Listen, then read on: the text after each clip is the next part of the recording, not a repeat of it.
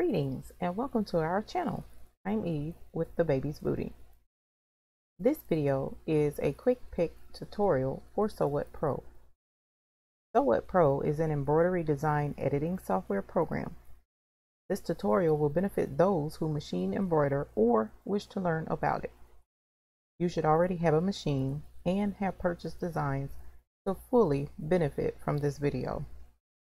This quick pick tutorial will be for info icon view. This is the button that we'll be working with and this is the pane that we'll be focusing on. Also note please that this button up here will be important in our tutorial today. Now info icon view is a shortcut to the most recently used folders in Sew Pro. This is beneficial for merging many different designs, such as letters. Take for instance these letters here. I just created this design. If I want to add more of the exact same letters, I click up here on Info Icon View. Notice on the left pane, this opens up and shows all of the designs or letters in this particular folder. Notice the directory right here. It shows exactly what folder it is displaying below. And here, this is on my computer. This is the exact same folder right here on my computer. So by opening that folder in Sew What Pro, this allows me to select other designs or letters from that same directory or folder. And because I have all sizes of the same font, I can select any other sizes as needed. But what if I want a different font on the same design? Well, first, let's close Info Icon View. Now, we want to go up here to File, and select merge. We want to go to merge, not open. We want to merge because we're merging more than one design to the current design that we have open. Now, I've already navigated here, but I'll show you.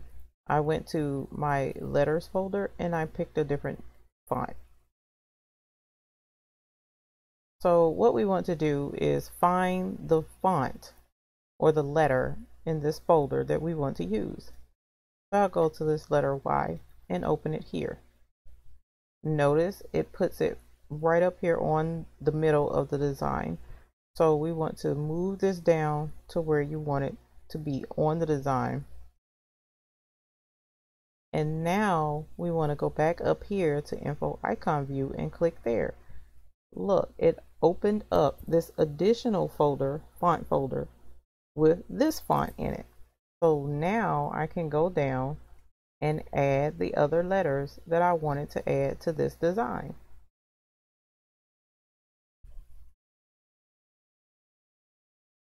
So now we have more than one design in this particular uh, part that we're working on today.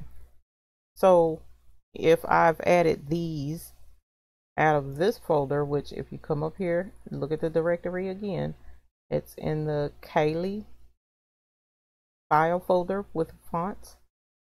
But these here are Centurion. So if I want to do those again, I just scroll back down to those letters and they're still there. This allows you to switch back and forth to whatever you need to do and it makes it a lot easier for you. Now, why then is this folder here showing up? Where it says custom and its pictures here. Well, as I had mentioned before, info icon view is for all recently opened folders, not just font folders. This could allow you to add another picture design to your current workspace if you wanted to. See? It just pops right into it. However, if you're done with one of these folders and you don't want to have it open over here anymore, you can just go up here to the delete album folders.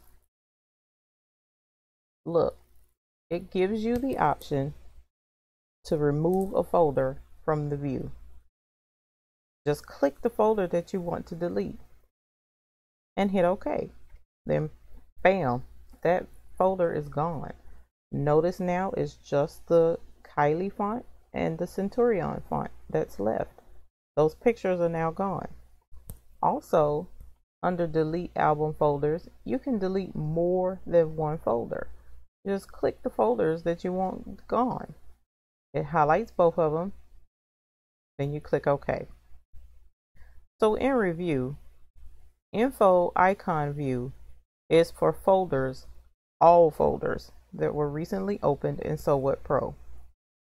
You can have more than one folder in the view so that you can add multiple designs. Once done with a folder in info icon view, just go up to delete album folders, select what you want removed, and you're done.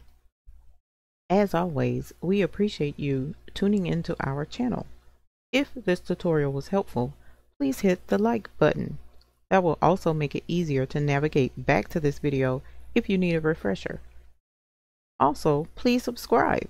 We will be adding more Sew What Pro tutorials as they are requested. Keep the questions coming. We enjoy the feedback. Until next time, enjoy your embroidery.